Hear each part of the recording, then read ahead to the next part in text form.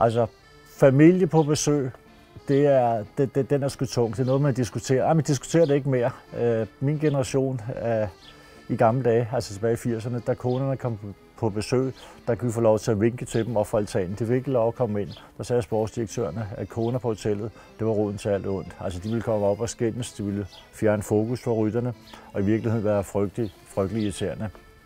Den går ikke mere. Nu kommer der koner, familier, der journalister hele tiden. Tour de France er blevet meget, meget større, og øh, den diskussion, som vi tager på, på holdene, øh, stod det til mig, så var der simpelthen øh, lukket på vilddagen, der ville man sig.